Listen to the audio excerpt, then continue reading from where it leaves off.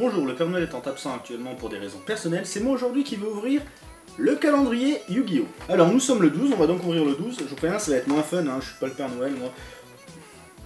Et euh, je suis tout aussi content que lui puisqu'aujourd'hui c'est la sphère Kuribo. Oh, merde Oh non Elle est tombée c'est la sphère Kuribo que nous avons, elle est magnifique. Donc euh, lorsqu'un monstre de l'adversaire déclare une attaque, vous pouvez envoyer cette carte depuis votre main au cimetière, changer le monstre attaquant en position de défense. Lorsque vous invoquez rituellement, vous pouvez bannir cette carte depuis votre cimetière comme un des monstres requis pour l'invocation rituelle. Autrement dit, c'est une carte aussi bien utile pour se défendre que pour invoquer rituellement un monstre. Sur ce, la vidéo est terminée, je vous fais des gros bisous les amis, je vous dis à demain pour une autre ouverture du calendrier. Je ne sais pas si le Père Noël sera présent, mais mon petit doigt me dit qu'il sera pas là de sitôt, enfin j'espère.